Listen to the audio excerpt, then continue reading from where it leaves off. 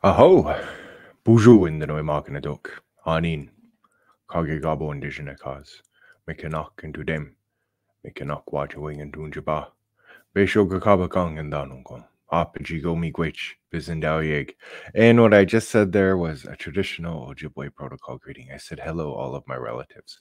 My name is Kaagegaabaw. I'm also James Vukelich. I'm Turtle Clan. I'm a descendant of Turtle Mountain. I live close to Minneapolis today.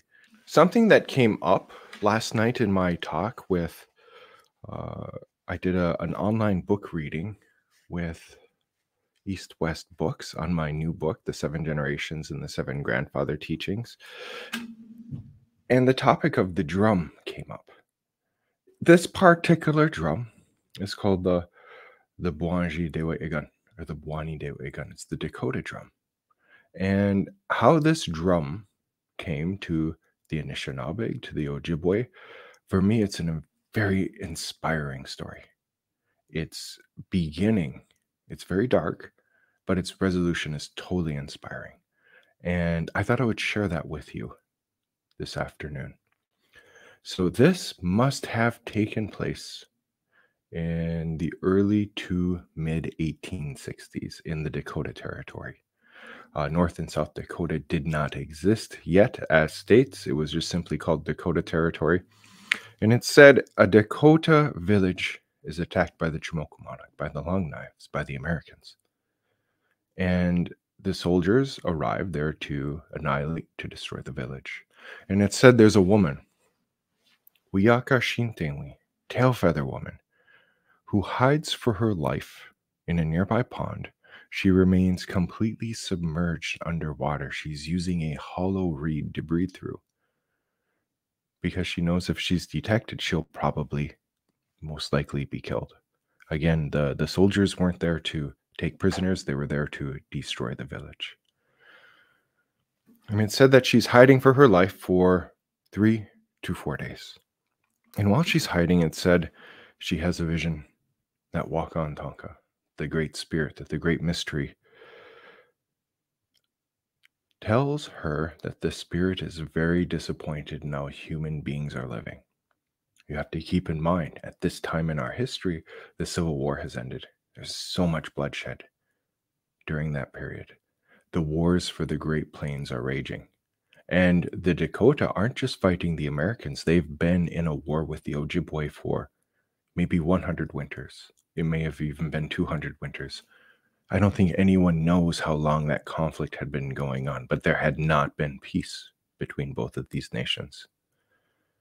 And in Tailfeather Woman's vision, she's told that if the Dakota were to present a drum to the Ojibwe, it would bring peace to both of their nations. And so she's able to mystically escape with her life. She brings her vision to the nearest uh, Dakota village where she relates it to the holy men there, and they begin creating the Dewa Igan, the drum that they will present to the Anishinaabe, to the Ojibwe people. And it said when they present this drum, and in many accounts, this is at the original Midewakan, uh, the original Mystic Lake, Mississauga uh, Lake Mille Lacs when they present the drum to the Ojibwe and the Ojibwe accept it, they sit together at the drum. And when they sound it, when they play the drum, you can hear what that word for drum in Ojibwe really means. Dewe Igun has in it de, which is the heart. Way, it's the sound, voice, characteristic sound. In a gun, it's the instrument, the implement. They're playing the instrument that makes the sound of the heart and it represents both of their hearts beating as one. When they're singing the songs they have exchanged, they're speaking with one voice. When the smoke is coming up from the Opwagan, from the Chanupa, from the sacred pipe, it represents both of their prayers going up to the heavens. And at that moment, I see a perfect example of what reconciliation can look like because these are people who had brought the very worst of what war has to offer to each other generation after generation pain, bereavement, terror, poverty, anxiety, rage, hatred. generation after generation after generation. And when the Anishinaabe, when the Ojibwe accepted that drum, he said, No matter what happens, I shall never raise my hand to you again. And I think it's fair to note, and I think this is an important place to note this these drums are still being played. They will be played this weekend. They're played every fall. There are ceremonies every fall and every spring where this Indigenous treaty, where this moment of reconciliation is enforced, it's acknowledged, and it's practiced through ceremony. And for me, you know, the contemplation on what can reconciliation looks like. This is the example that I need in my life. And it gives me hope. It gives me hope as a Anishinaabe, as a human being, that we can look all over the world. And this could be in Asia, in Europe, in Africa, in the Middle East, in North and South America, where you have groups who are in continual conflict. It's not just one place in the world, it is worldwide. And when we move towards with reconciliation and asking ourselves, one, is it possible? I needed that story to tell me that it was possible. It was possible that you have two groups who had such deep seated animosity towards one another that there was a path towards peace. There was a path towards, for me, I call it Menowiji Itduin, walking along with one another along the path of life in a good way, as Ouija walking, as companions on the path of life. Not one being more important than the other, walking together as relatives, as partners, as allies. And their example showed me that reconciliation in this case, in their excellent example, which is the example I use whenever this word comes up, for me, this was strength of heart. It's one of our grandfather teachings, Zungide Ewen. Zungide eh, is to be courageous, it's to be brave, but really, for me, it is to live with a strong heart. That's what that word literally means. It has it zoom, strength, and the de. Eh, it's the heart. He or she has a strong heart. And the strength of heart, the bravery, the courage to say, no matter what happens, I will not raise my hand to you ever again. I'll not engage in armed conflict with you ever again. It takes a great deal of courage to be able to do that because you do not know what the other, what your relative is going to do. And so, in this strength of heart, was no longer, I am unafraid to go and fight Dakotas or go and fight whoever you're in conflict with.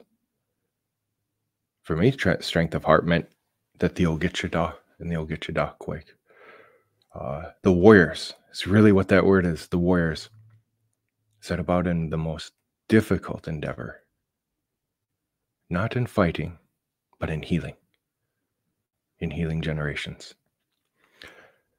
And when I speak of generations here, I like the perspective. I just had this realization this summer. I was in Montana. I was at the oldest building in Montana uh, that was built by one of my great great grandfathers. And it made me realize that my son, from that grandfather who built that building to my son, that had been a period of seven generations.